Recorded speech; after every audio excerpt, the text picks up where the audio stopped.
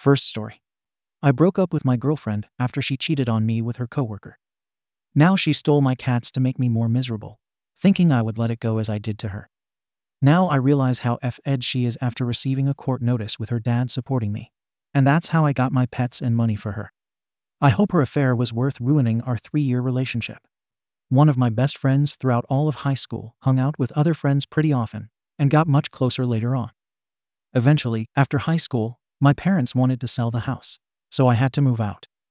I had been dating this girl for over a year at that point, and she and I decided to move in together.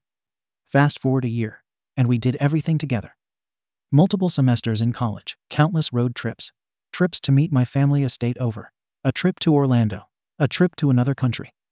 I took her everywhere I could, and we did fun things every weekend. We even got my first two cats together. We were the golden couple our friends looked up to, and my relationship with her felt extremely strong. I felt very emotionally dependent on her, and we always had comfort in each other. There were very few arguments, and the few small ones we had only ended in us becoming closer. There was no way anyone who knew us could have seen the following coming. It was indescribably surprising. Fast forward another year. A couple weekends ago. I'm playing a game, and Tarkov is chatting with friends while she's out with her friend, named M. That night I had plans with her, but she explained that M and her wanted to hang out spontaneously, and I had no reason to object, though it felt off that she would blow off our plans of hanging out that night. No biggie. I trusted her and loved her with all my heart. She hadn't texted me for about two hours, so I asked how it was going. No response. 30 minutes later, I called her three times with no response. This had me very worried, as she'd answered every call in the last five years. I checked her location on one of our apps, Snapchat. It was off. Something I wasn't insecure about, but we'd both never had it off since we started dating. Now I was really worried. I wasn't sure if something had happened to her, and the person knew to turn off her location, or if she was lying about where she was. Eventually, she answered my calls with a text. It's good, in response to my, How's it going, baby? an hour prior. This was no good. I was pissed that she would so shortly answer my obviously huge worries. I spammed her, asking for a selfie and asking for an explanation of the missed calls and location being turned off. Short, one word replies, five minutes apart, only made my mental state worse. Eventually, I started asking for pictures of him. I was becoming doubtful that she was telling the truth. She's in the bathroom.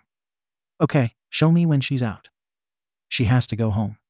Eventually, I asked what she was lying about. She told me she was actually with a coworker. A guy. Wow. From there, it was pure anger from me. And she was telling me I didn't satisfy her or spend enough time with her. She admitted to being unhappy with me and told me she only stayed with me for financial and apartment security. I worked two jobs, one every weekday from the morning to the afternoon, while going to my classes. She usually worked afternoons and evenings, but regardless, we hung out every single night. We spent every single weekend for years going out, watching movies, hiking, going on road trips, trying out new games, hanging out with friends, and cooking new foods together. Countless hours later, she apparently didn't appreciate it, but never discussed it with me. I got a new roommate to sign into my lease, so she could be removed. We made up slightly, with no possible chance that I would stay with her. But after four or five days of sobbing and staying home from work, I felt clear minded for once, and we even watched some shows together. I helped her pack her things and moved mine out of the way. I helped her load her car multiple times, and we had some good times. Innocent, goofy, silly insults, and messing around. Laughing. Just like we had our entire relationship.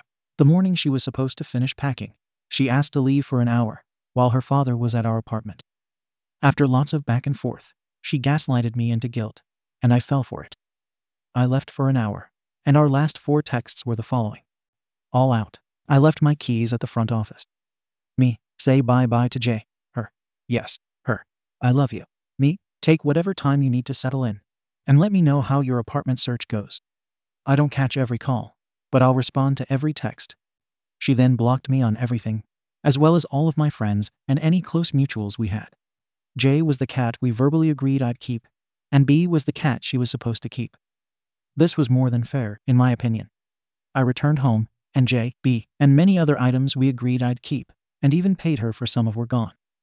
The person who destroyed my trust and our relationship went a step further. She abused every ounce of good intentions I had put towards helping her, despite the cheating. I'm still reeling from this betrayal by the person who helped shape who I am as an adult. From my number one go to comfort character for the last four plus years of my life. Legal action is being taken over the stolen cat. I'll eventually post an update and details I shouldn't post publicly yet later on. I've lost a lot of weight, and my psyche has been immensely damaged. Hopefully, I learn from my mistakes. Take consideration of the new red flags I've noticed, and don't let any similar issues arise again. But in the end, no matter what I did differently, she most likely would have done the same thing. And as long as I understand that, I believe I can eventually find someone better for me. Over the course of the last four five months, she destroyed my SX drive. Over the course of the last year and a half, I haven't spoken to a single female in any of my classes or previous female friends I had over text due to her paranoia. I respected this, even though it caused some personal concern. I sacrificed so much in my life and covered her half of our payments multiple times. It was clear in our last few texts that I had no intention of cutting her off or hating her for the rest of my life. This has destroyed me. I caught her cheating during the third week of August, 2022. Edit. Sorry for the title. Don't let it take away from the story, though. Edit 2. Wow. I did not expect this kind of reach and feedback on my first Reddit post. I will be adding further explanations regarding why I was so worried about her lack of response. Most of the criticisms on my end are coming from this, so hopefully some context into the dynamic of our relationship will help with this. I will also be posting the civil case updates as reasonably as I should, without a chance of hurting my odds. I absolutely appreciate all the feedback, comments, suggestions, advice, criticism, and even the jokes. It means the world to me to suddenly become involved with such a supportive community on a topic that has recently devastated me. Edit. It's been rough. It's been nearly a month since I caught her chesting. Every day is a 50 50. Whether I feel like crap and I'm caught up in the past, have self doubts, or feel totally fine and focused on my classes or work. It's come to my attention that her work closes at 7, and this isn't fast food or some sort of retail. But she was never home before 9:30, leaving me to believe she was spending time with this coworker often, possibly every single closing shift, which would have allowed her to feel bold enough to bail on our plans and think I wouldn't find out. Any negative comments, or more so, criticisms of myself, came from my post, including that I felt emotionally dependent on this girl. For better or for worse, I hope it's understandable that being close friends with this girl for over a quarter of my life and spending most of that time dating her, half the time living with her, etc., definitely led me into a false sense of security. Having been with her my last couple teenage years and the first couple adult years, I don't see how it may be difficult to grasp that I really did believe and try with all my heart to make this relationship one of those high school sweetheart beginnings. And no, I wasn't trying to follow some stereotype or keep false hope because we met young. I just truly felt that, despite any disagreements and despite the sacrifices I made for her, we were healthy in nearly every category that mattered. And with the issues we overcame, I never would have thought any disagreement of ours could stand the test of our relationship's time. I was not literally, desperately dependent on her for my emotions. But I always felt like I'd have her when I needed her, and I wanted her to know she'd always have me. When the person you feel this way about suddenly upheaves all of the progress and time you shared with them, well, as many of you know even better than me, it's devastating and detrimental to the optimism I've had my entire life. Court updates. The complaint was filed, the constable paid, and evidence was printed of our verbal agreement and its violation. The constable has contacted me to inform me that her working location is refusing to allow them to speak with her. There is one attempt left, and then I need to dive into a special service request or hire a private summons. Either way, the costs will be added to the suit. For my general outlook on the case, I feel extremely wronged, and it is undeniable that a crime was committed against me with the intent to spite me and for her own selfish desires. I had a friend over, my new roommate, during one of the days before the theft of my belongings and pet, and the three of us discussed who was keeping what and who would keep either J or B, the cats. I have his written and notarized statement ready for use in court as damning evidence that she and I had a verbal agreement, one that she obviously violated. Physically, she took both cats and multiple of my items, and in the last four texts between the two of us, there is usable evidence. That being said, myself being financially stable and responsible, I'm basically allowing whatever process needs to take place out of my wallet, knowing that winning the case would mean any court related costs are then awarded to me. This is simply a waiting game, and by now she knows I'm not bluffing or simply going to give up and let this Bane keep my loving cat. and I am inquiring into the possibility of taking both back, though I'm not sure what the odds of that are as it's not requested in my formal complaint. Lastly, for now, the extreme amounts of support both in the comments and in my DMs have given me countless smiles and overall helped my confidence both in moving on and in pursuing the case. Though too much alone time lately always leads to negative reflection and utilizing my 2020 hindsight. Update. I've been speaking to a therapist since the week all of that happened. I gotta admit, my whole life I'd never really seen the point in one. But having someone to speak to who knows how to effectively reassure you, it's a nice way to take some of the mental stress off your shoulders. Fantastic news. Today, only 10 days since I made the original post, is absolutely a huge turnaround. I had filed the civil suit as I intended and paid for summonses. Traditionally, you get three summons attempts before you need to move on to a more expensive, yet thorough means of serving someone civilly. The first two attempts were wasted on her working address. The constable was told both times promptly to screw off, and that they had no clue who the constable was referring to. The third and final traditional attempt had the constable head to the father's house of my ex. Being the reasonable man I know he is, which is why I allowed her to be in my apartment in the first place, thinking he'd be there the whole time. He contacted his daughter regarding the constable and, out of good conscience, and for his daughter's financial well being, explained to her that she needed to meet with a summoner and find a way to get this case dropped, because it was clear she would not win once served. The constable called me earlier today to inform me that she had been served. She promptly reached out to me, for the first time since telling me she loved me, that she had told my cat goodbye, and that all of her things were out of the apartment. She essentially asked what it would take to have this case dropped, as she definitely could not afford more than the money and pet return I wanted. I explained my demands, and she asked for a couple things she had left here. Laptop, some clothes. I agreed to drop the case after I was paid and have everything stolen returned, including my beloved cat. Sure, I could have denied her and dragged her through months and months of court, at the end of which she'd most likely have to pay all of my fees on top of hers as well as these demands. I, in no way or manner, forgive her at all. But I don't have it in my heart to ruin someone's life as badly as this financial situation would do to her. I feel it is much healthier and says a lot more about me that I'm able to settle this ultimately outside of court. I will never speak to her again outside of this exchange. Yes, she will be paying for all of the fees and time I've put into this case already. I am so unbelievably excited to get my cat back. Even though she deserves every little bit of what I planned through court, I'd like to move on as fast as possible and not be legally involved with this horrendous human being for up to a year longer than I need to be. Second story. My entitled friend made a fake profile to test her boyfriend's loyalty, then created another to bully him, saying he needed to be scared to break up or date another woman. I exposed her to her boyfriend, and she blew up her last chance of recognition. Now she blames me for ruining her life and went online accusing her ex boyfriend of abusing and cheating on her, only to get called out and ridiculed. I 30F know a couple. Let's call them Blair 28F and Ben 30M. I've known both of them separately since they met and started dating. They fell in love pretty fast and became a couple. We always thought they were perfect for each other. Both were attractive, fun, and energetic people who were crazy about each other, and also great friends to the rest of us. Important note we are all from different countries and live as expats in the same country. So after a while, Ben had some family problems back home, which required him to fly back to be with his family. But this would be temporary. Blair has always been great, supportive, and understanding towards Ben. He would always go around saying how happy he was and how proud he was of his relationship.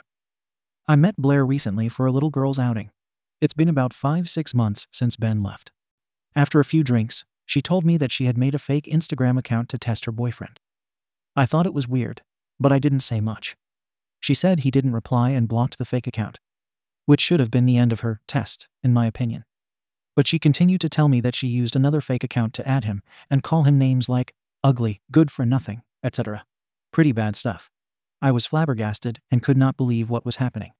I asked her why, on earth, she'd do such a thing. Her explanation was that she is the best girlfriend he can have, and she just wanted to remind him how great she is so he can appreciate her more. She wanted to show him how horrible the dating pool is and that he should hold on to her tight. I told her this was insane and she needed to stop. But she continued to tell me, no, and this is nothing harmful. Ben had told me about a fake account messaging him, but I didn't know it was her. Ben assumed it was his ex who was proven to be a stalking weirdo. But now I know it's not her. It's actually his loving girlfriend. I told Blair she needed to stop, and I would love to help her work on the issues that make her act like this. I tried to explain how this would eventually ruin her relationship and Ben's confidence as well. But she is not listening, so I told her if she didn't stop, I would go ahead and tell Ben everything. I have screenshots of us discussing this matter over texts and how she's not willing to stop. Would I be the ah if I told Ben everything? My boyfriend says Ben needs to know, and I totally agree because nobody deserves to be treated this way. But some of my friends back home told me to not tell him, but instead convince her to come clean, which I've been trying but to no avail. So, Whipta. Edit. This has been a shocking event for me. We all thought she was a great person all this time.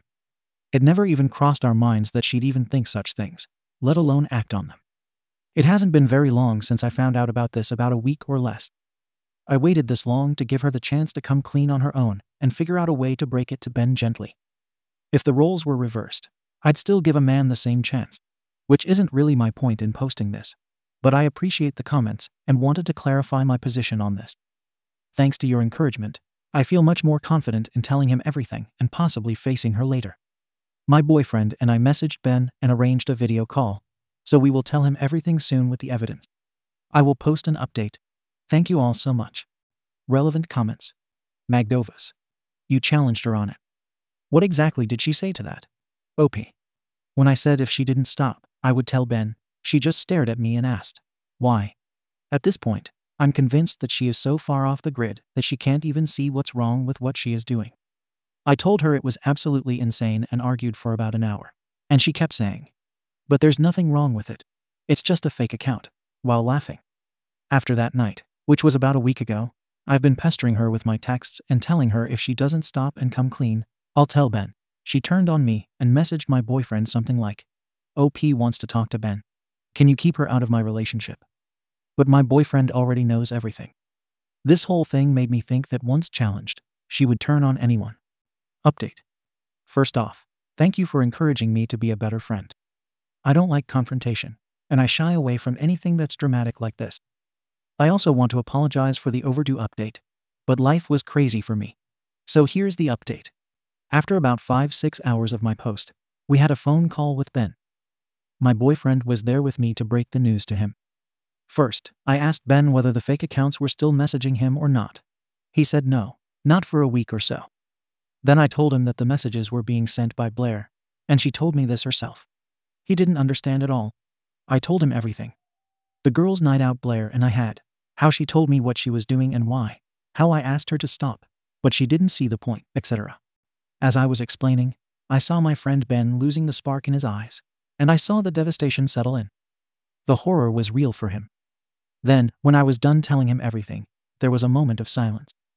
My boyfriend told him if he needed or wanted us to help him in any way, we would be more than happy. He thanked us for telling him everything and wanted us to keep this a secret from Blair.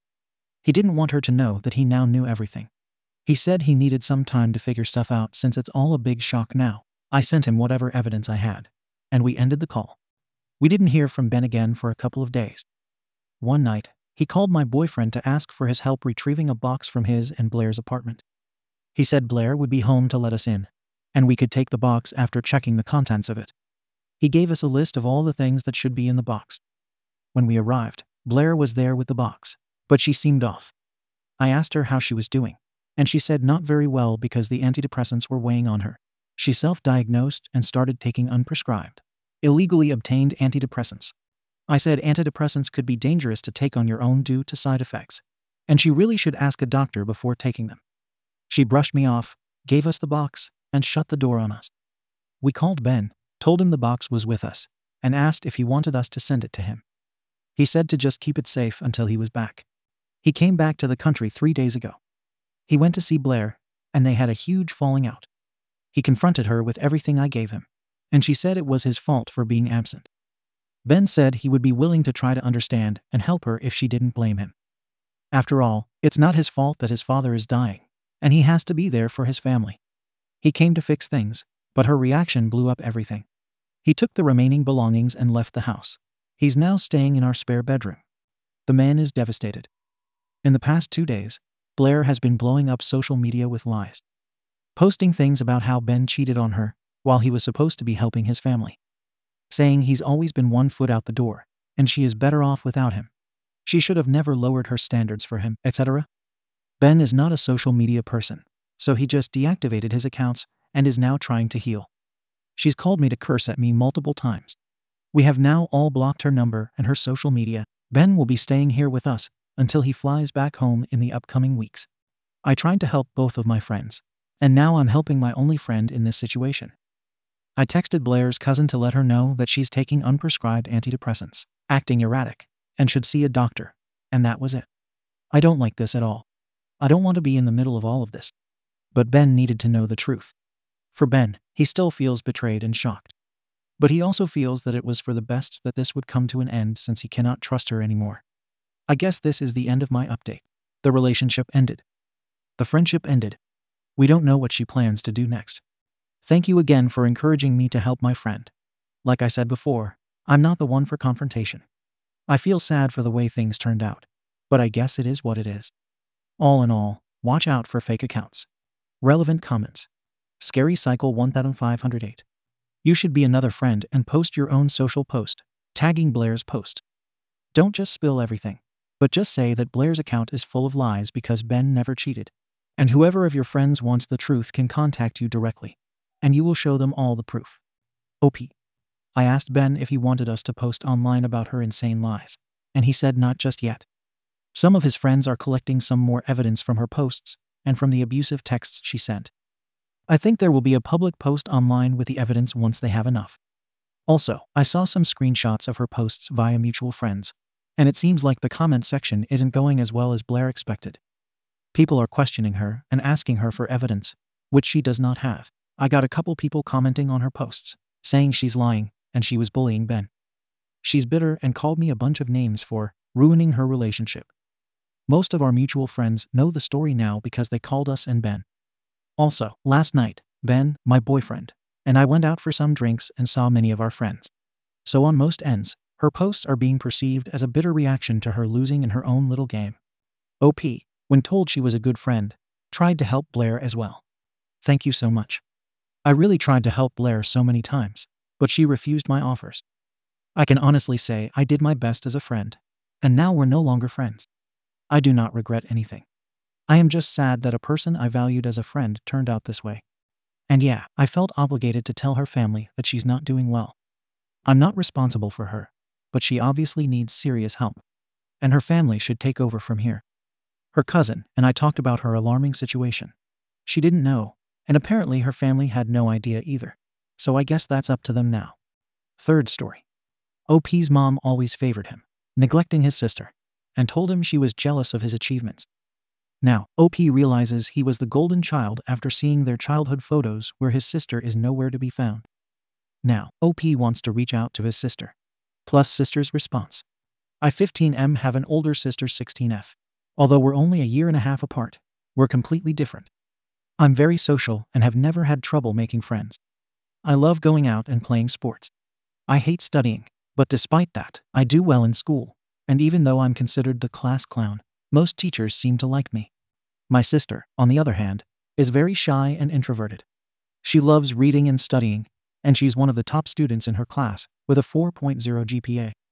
She has a small group of friends, but she almost never goes out with them. She just likes to stay in her room. Growing up, my sister was always jealous of me, always saying that our mom preferred me over her. Whenever we brought this up, our mom reassured us that she loved us equally. Mom always told me to ignore my sister's comments, saying she was just jealous of me. Recently, our mom took both of us to a clinic for a comprehensive psychological evaluation.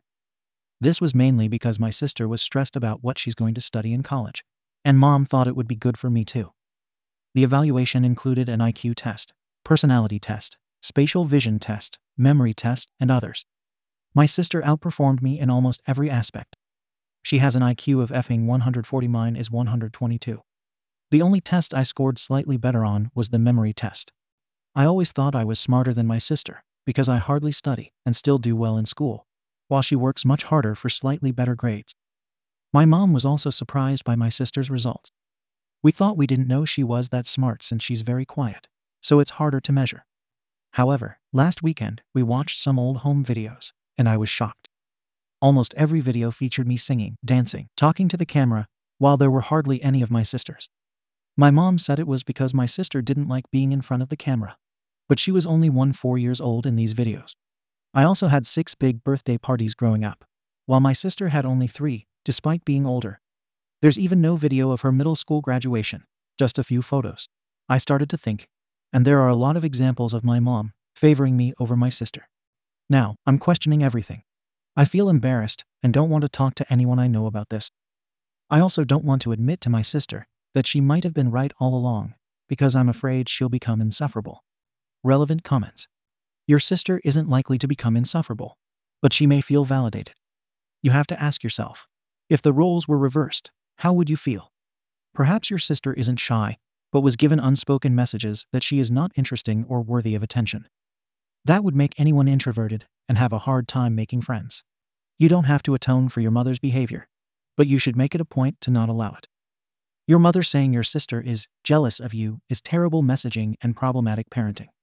Your sister is a human being. She's only going to be living under the same roof for a short time longer. It would be sad to let things continue as they are and potentially miss out on a good relationship with your sibling. I love my sister, but she's already a bit insufferable. Whenever I do something and mom recognizes or compliments me, my sister insists it's not because I deserve it, but because I'm the golden kid. I never asked for my mom to treat us differently. If I could wave a wand and make her treat us equally, I would do it. Instantly. I'm worried that validating my sister's feelings will make her behavior even worse. And I'm already tired of it, and yes, I already talked to her about this. She just rolled her eyes. My mom should recognize and compliment her more, rather than me less. I know I have to talk to her about my realization. I wrote in the post that I don't want to admit it to her because that's how I'm feeling. I have a good relationship with my sister, and I don't want her to feel less loved or unworthy. I'll try to talk with mom too, but I know she'll just brush it off. Better now than never. Talk to your sister about it. Be willing to hear what she says, even if it is uncomfortable. Family therapy is probably a good idea. You are worried that she may be right about having been neglected, and you are worried that she might become insufferable. Buddy, it sounds like she has been suffering. It comes down to what kind of person you want to be. How would you feel if the situation was reversed? There are tons of posts here from the siblings of Golden Children. Read them and think about how it must have been and still is for your sister. Do this now, because you may never get another chance. Do you want to be haunted by these issues in 10 or 20 years? You got a wake up call. It is a second chance to do better. I really love my sister and I don't want her to feel less loved or invalidated. But she is also not perfect. I am worried that she will become insufferable because she already is. If I get an acknowledgement or compliment from my mom, it's never because I actually deserve it. It's always just because mom loves me and I'm the golden kid. I'm sick of this. I feel invalidated, like everything I do is not worthy of a compliment. My mom should treat her better, not me worse. If she already does this now. I can only imagine how much worse it will be if I tell her she was right all along. That is why I'm afraid of telling her. But I know I have to. I just hope she can understand that this is also not my fault. You sound a bit insufferable.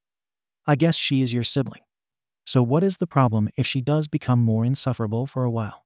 Maybe if you start showing her that you actually respect her and use your words, you could build an amazing sibling bond. Your excuses for not even trying are insufferable. Do you feel good being rude to a 15 year old on the internet for no reason? Maybe if you start showing her that you actually respect her and use your words, you could build an amazing sibling bond. How do you know what my relationship with my sister is? We actually have a great relationship. We play tennis and chess together, watch TV shows, and I go to her room to chat almost every day. But yes, sometimes she irritates me, and sometimes I just want to throw her in the nearest trash can, and I'm sure she feels the same about me sometimes. That doesn't mean I don't love her, or that we don't have a good relationship. I already mentioned in my comment that I know I need to talk to her. I was just explaining why I'm afraid to do so. U slash imaginary underscore company underscore 74 responds three hours later. Hi people, OP's sister is here. My brother came to my room to talk to me and showed me this post he made about the situation.